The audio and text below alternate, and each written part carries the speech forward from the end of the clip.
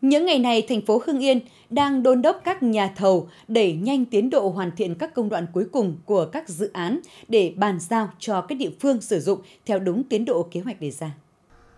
Chuyển về phòng học mới đã gần 2 tuần nay, nhưng cô và trò trường mầm non xã Quảng Châu vẫn chưa hết vui mừng phấn khởi bởi được học tập sinh hoạt trong 6 phòng học khang trang, mỗi phòng có diện tích 110 m2 và bếp ăn do Ủy ban nhân dân thành phố Hưng Yên làm chủ đầu tư.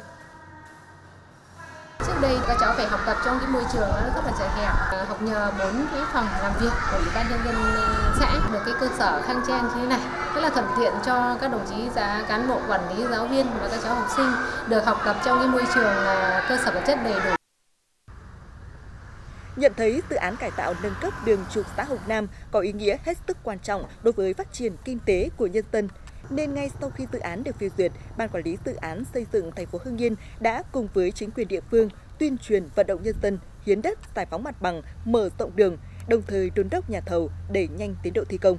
Như vậy, dự án đã được hoàn thiện với chiều dài 2 km, rộng 7,5 m, bao gồm sảnh tam giác hai bên đã được bàn giao cho địa phương.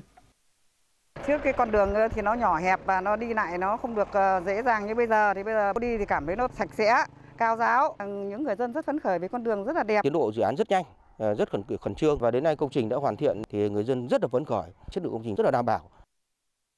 Nhờ chỉ đạo sát sao các nhà thầu đẩy nhanh tiến độ thi công các dự án công trình đảm bảo tiến độ theo đúng kế hoạch đã phê duyệt, nên năm 2020, thành phố Hưng Yên đã thực hiện thi công được nhiều dự án khác nhau như xây dựng các tuyến đường giao thông, giao thông nông thôn, hoàn thiện hạ tầng kỹ thuật các khu dân cư trên địa bàn.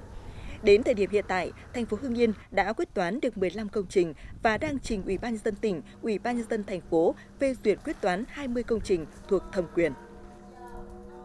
Ban quản lý dự án cũng đã đôn đốc và cũng đã có công văn nhắc nhở về chất lượng, tiến độ đảm bảo an toàn giao thông, đảm bảo vệ sinh môi trường, làm sao mà khi ờ, triển khai thi công thì các đơn vị phải tuân thủ theo như là cái ờ, kế hoạch thi công đã được phê duyệt và theo như hồ sơ ờ, dự thầu của các ừ, đơn vị thi công.